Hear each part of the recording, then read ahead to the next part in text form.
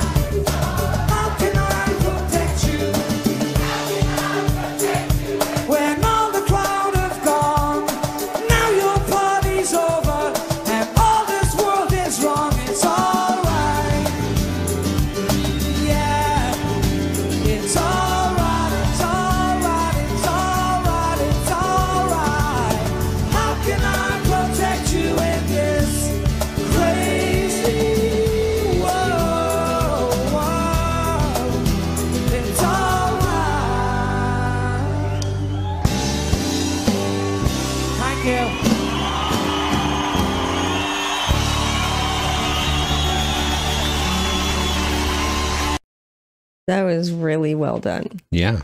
I like that a lot. Now the start and the finish of the video are cut off. Off. Yeah. weird, but that's okay. But I mean, I guess that's the price you pay sometimes when you're doing it live, right? that's true. Yeah. But I mean, we'll definitely get back to this band. I like them a lot so far. Yeah, That was really nice. it's a good sound for sure. Yeah. I could listen to that over and over. That song. Like it's just so good. Hmm Really catchy for sure. Yeah, You know, and the vocals are beautiful. it's a great song, and I like how they work with the crowd. That's really good. Yeah.